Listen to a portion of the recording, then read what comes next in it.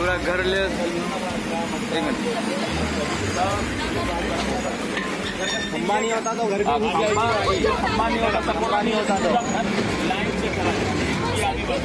यहाँ पे कोई सेफ्टी नहीं है आग बंद करके ड्राइवर गाड़ी चलाते हैं यहाँ पे और लाइट नहीं होती एक्चुअली रोड की लाइट भी नहीं होती। ना?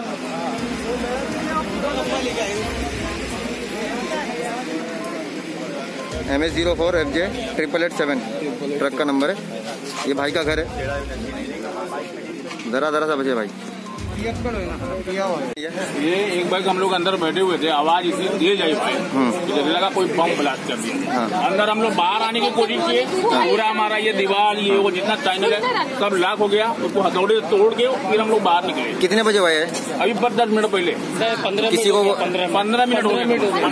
ड्राइवर के साथ ड्राइवर को पकड़ के भाग गया।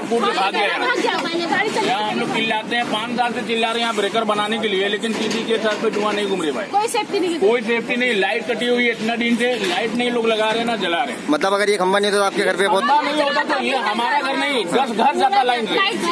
लाइन से दस घर टूट जाते हैं और कितने लोग मर जाते हैं। अगर ये खंबा नहीं होता तो। ये वायर ने बचा लिया इतना टाइम समझ लीजिए हमारी आप लोग- बाइक है ये हमारी नई बाइक है।